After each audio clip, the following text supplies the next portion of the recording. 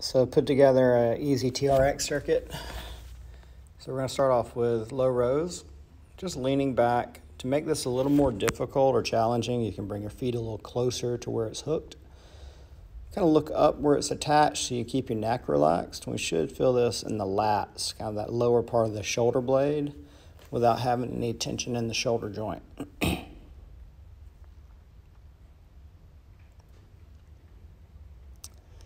We'll hit about 10 reps of each of these, and then we'll lean back and do a little lean back squat.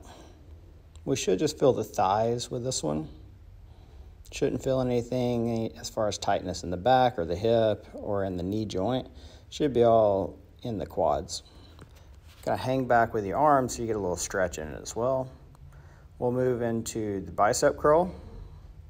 You're gonna think about your elbows kind of staying up and pointing straight ahead. Neck still gonna stay relaxed. We're gonna feel this in your biceps, right in the front side of the arm. Still the neck and the shoulder should be nice and relaxed. Then we can move into a split squat. You can use the TRX for a little balance and support and a little assistance in standing. You're gonna think about filling this all in the front quad, so the front part of the thigh, while still keeping the neck relaxed, the shoulders relaxed. Shouldn't feel anything in the knee joint or in the low back.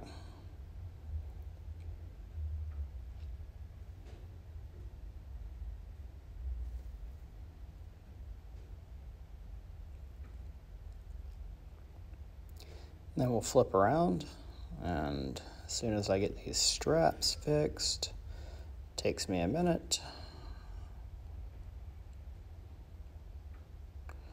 I'm not going to edit the video, sorry.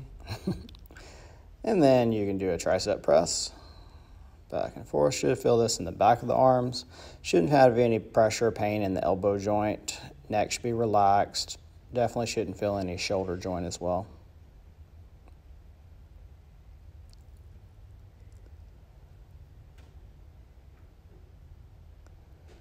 And then we can end the circuit walking out and just reaching up and down, using the straps as a little bit of assistance to reach overhead and get a nice stretch.